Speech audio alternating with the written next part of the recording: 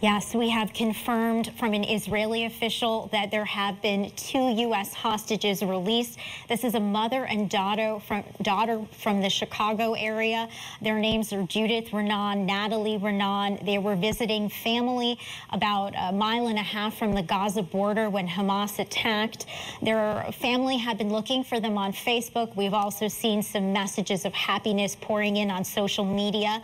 Uh, and the Israel Defense Force has estimated that the total number of hostages is over 200. They're saying today that they believe that the majority of them are still alive. Now, we learned about this because Hamas had said that it had released a mother and daughter for quote unquote humanitarian reasons and to prove to the world that uh, Biden was uh, false in some of the claims that he recently made.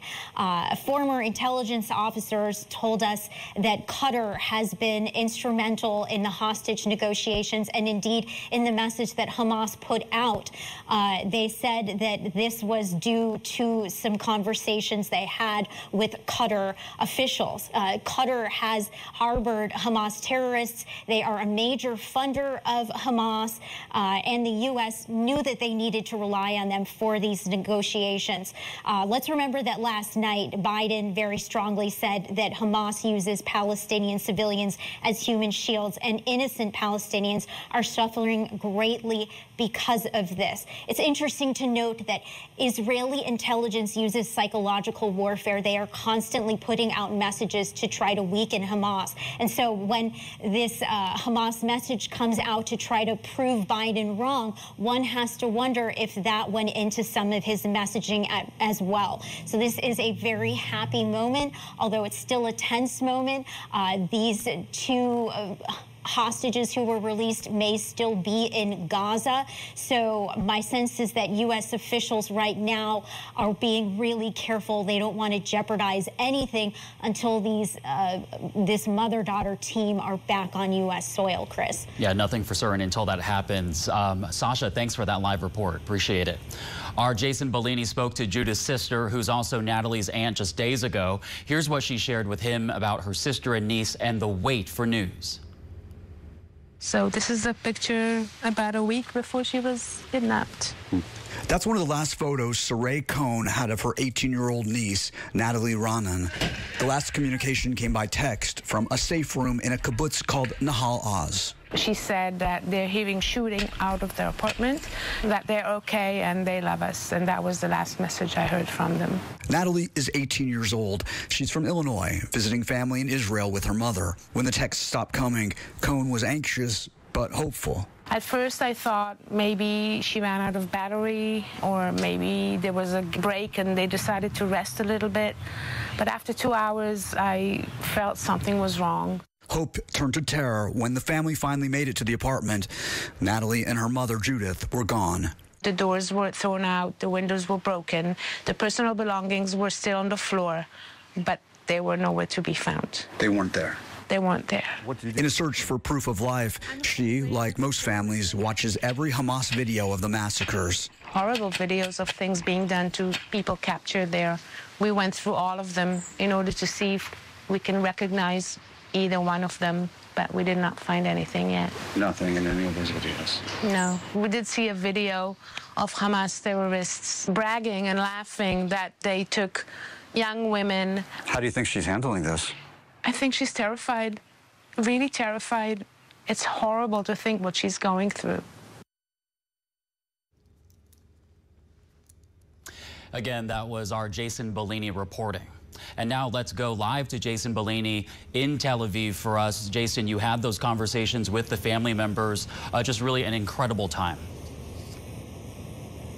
That's right, Saray Cohn. You can only imagine just how happy and relieved she is. When we spoke with her just a few days ago, as you just heard, she was still waiting for signs of life of her sister and her niece. And she talked a, lot about niece, this 18-year-old young woman from Evanston, Illinois, who just graduated, had come over to Israel with her mother to be at her grandmother's birthday on the kibbutz. And that's when all of this transpired, when she was abducted. And that entire day, that Saturday, uh, they were trying to find out where she was, where they were located, and it was, it was many days before they actually heard from an official from the uh, Israeli army who told them that they were indeed hostages. And uh, then they were in contact with the FBI, and the FBI told the, the family that there were traces of them. So they were beginning to get signs that they were uh, being held as captives because there are some other families,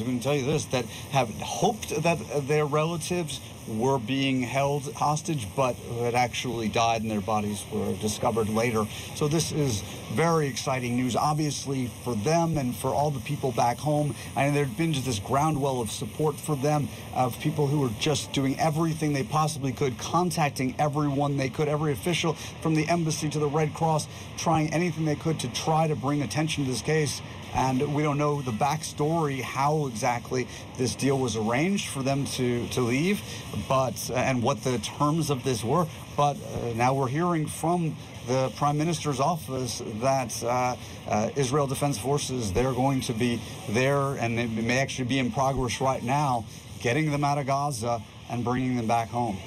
Chris? And Jason, uh, this news will certainly provide some hope, as you said, to uh, some of the other families impacted by this crisis. What else are you hearing uh, from your sources on the ground there in Tel Aviv? Well, I think this is interesting. This will certainly give hope to many other families that are waiting for word. I mean, there are many people who just still don't know to this day whether their loved ones are still alive. Uh, most people at this point know, most families know at this point whether they're whether it's believed that their relatives are hostages. Um, but one thing we really we do know is that there's been a lot of international pressure on the Israeli government to hold off on going into Gaza, on the uh, offensive into Gaza, the ground offensive, to not do that right away, to give time to try to get the hostages out, as many of them out as possible, um, because once the uh, once this offensive begins, and it could happen at any time, um, there, there's the lives of those hostages could certainly be in danger, and it may be too late to try to get them out through diplomatic means, Chris. Yeah, there's just so much coordination needed uh, for this all to uh, take place. Uh, Jason Bellini reporting live from Israel for us. Thank you and stay safe.